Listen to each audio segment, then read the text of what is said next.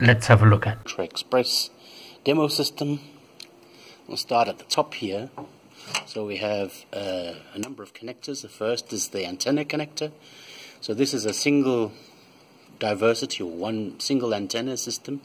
You could have uh, Tetra systems, you have multiple antennas. These would come here, but this one just has a single antenna for TX and RX.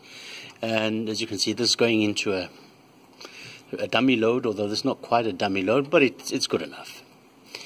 Uh, Tetra usually needs on the base station a GPS antenna for synchronization.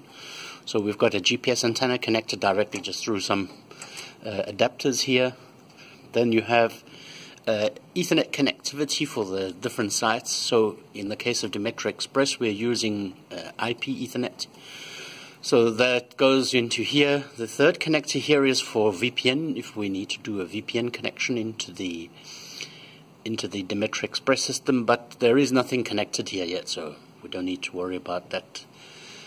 Then, uh, obviously, power, AC mains, and you have the possibility to connect DC as well uh, to a battery, and then there is a temperature sensor for the for the battery.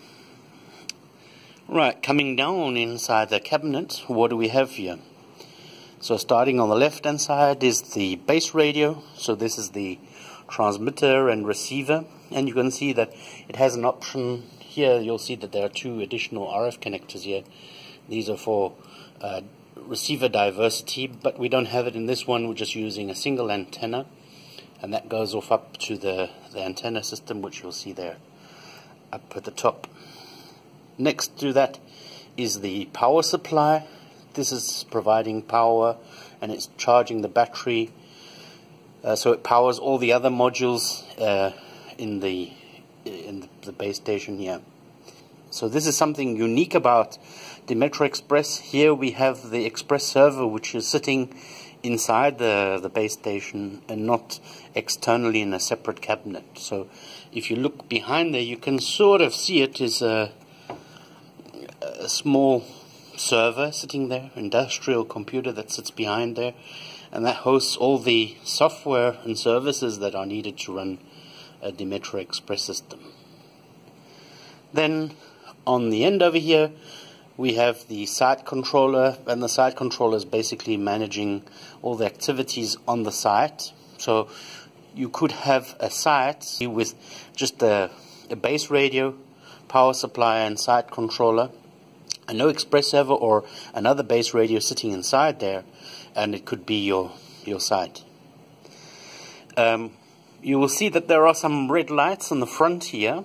The red lights mean that there is something wrong, and if you look at the meaning of those lights, uh, it's showing a fan.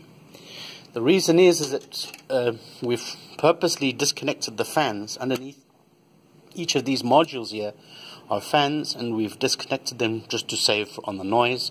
I mean, if you plug them in, the, the, the red light will go away, but it just makes it a little bit noisier, which is nice, but not so cool in a in a quiet room like we have here now. Yeah, so you can see the, the red light goes away, but then it sounds like we're running a hairdryer here, so it's okay if you have this out on a radio site somewhere, but not so cool in a in a nice quiet meeting room when you're trying to talk to to people. Then uh, again on the, the, the site controller there are two red lights. The first one is red showing GPS.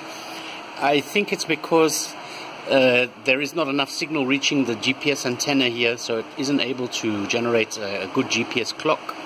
And then there is another one here for it's red uh, a BTS alarm. So this is basically saying, okay, there were some problems with the, the fans, and okay, at the moment it's showing uh, red, yellow, it was red. So there must be, I guess, the, the amber is related to the the non-existent or very poor uh, GPS.